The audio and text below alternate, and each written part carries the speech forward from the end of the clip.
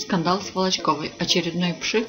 Громкая история прозвучала в ток-шоу о том, что бывший любовник обнародовал в интернете интимные фото балерин. Прошло две недели после скандала.